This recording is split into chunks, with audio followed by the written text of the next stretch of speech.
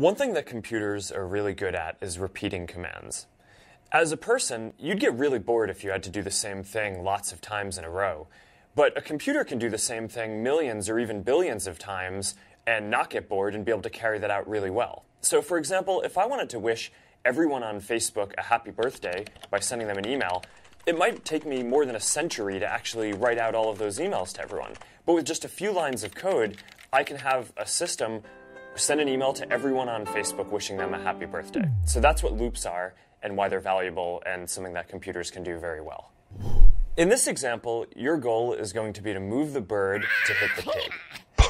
Now, we're going to be able to use the repeat block in order to be able to do this very easily. You can either do this by giving the computer a move forward command five times in order to advance the, the bird one step each time to the pig, or you can just tell the computer to move forward once and then tell it to repeat that five times and it'll do the same thing.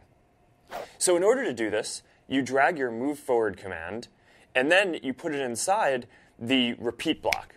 And you can click on it and tell it how many times you want to repeat the block to tell it how many steps you want it to take forward.